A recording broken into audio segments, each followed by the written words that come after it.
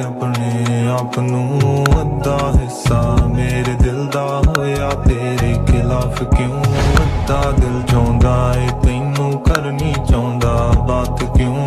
ਤਾਰਿਆਂ ਦੀ ਰੋਸ਼ਨੀ ਦੇ ਵਾਂਗੂ ਗਲ ਨਾਲ ਰਾਜਾ, ਰਾਤ ਨੂੰ ਦਿਲ ਮੇਰੇ ਨੂੰ ਸਮਝਾ ਜਾ, ਹੱਥਾਂ ਵਿੱਚ ਹੱਥ ਤੂੰ ਪਾ ਜਾ।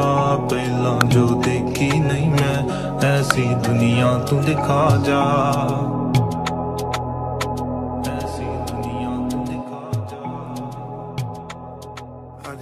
to bleak off, sorry, started to friend